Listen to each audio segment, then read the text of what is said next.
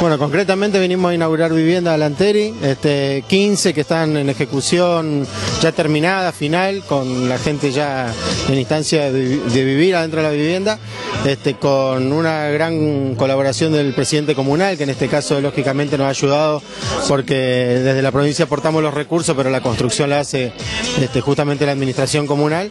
Y bueno, y con tres más en ejecución que estamos por terminar prontamente, son de la misma operatoria, del lote propio, y ya nos pidió unas 19 más porque dice que tiene mucha gente viviendo acá y que necesitan este, resolver el problema de las casas, así que bueno, vamos a estar avanzando seguramente con eso.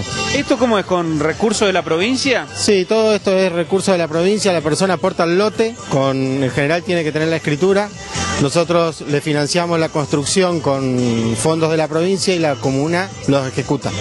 ¿Eh? ¿Y el tema de los planos y todas esas cuestiones cómo es?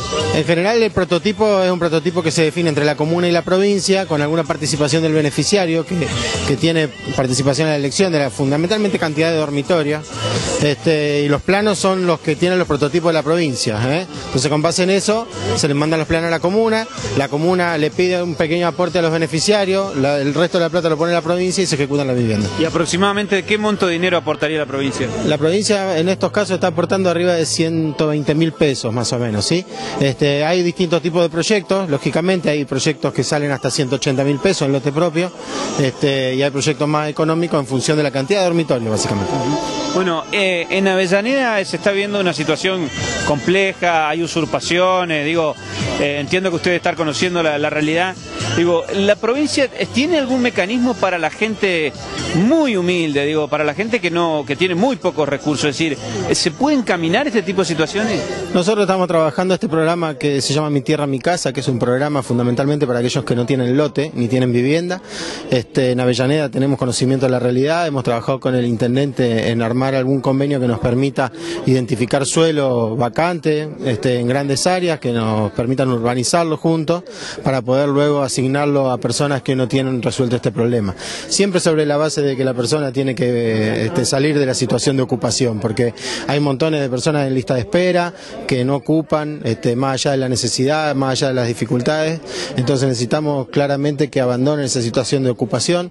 Gran parte de los que están ocupando tienen a dónde volver, tienen a dónde, estaban viviendo en otro lado.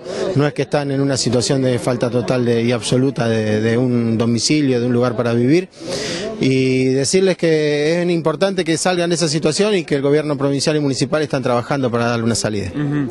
¿Y la salida por dónde pasa en este la programa? La salida fundamentalmente pasa por este, adquirir suelo este, y llevar adelante loteos. Una vez que la persona tenga el lote, se le puede ayudar con algún financiamiento material de construcción. ¿Y eso, digamos, la, la provincia pondría algún dinero con el municipio? Nosotros con el municipio de Avellaneda tenemos firmado un convenio por 5 millones y medio de pesos ya, eh, para la construcción de 130 soluciones habitacionales. Lo que hemos dicho es que nos identifiquen lotes para poder usar parte de esos fondos para adquirirlo y este, o hacer las obras de infraestructura para poder habilitar los loteos.